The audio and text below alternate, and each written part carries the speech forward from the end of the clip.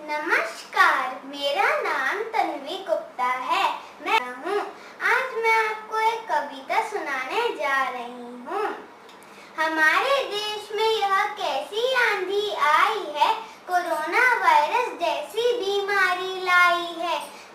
चारों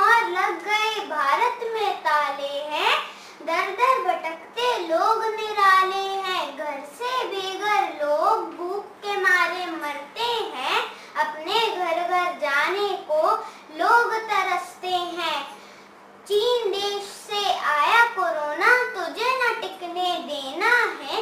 कोरोना को हराना है, भारत देश बचाना है। सर्दी, खांसी और तेज बुखार है, इसके लक्षण, जब ये लक्षण दिखे किसी में, तुरंत क्वारंटाइन में जाना है। डॉक्टर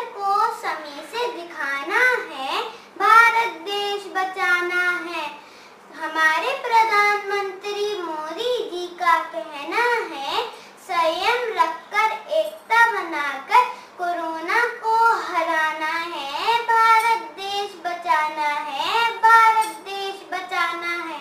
धन्यवाद।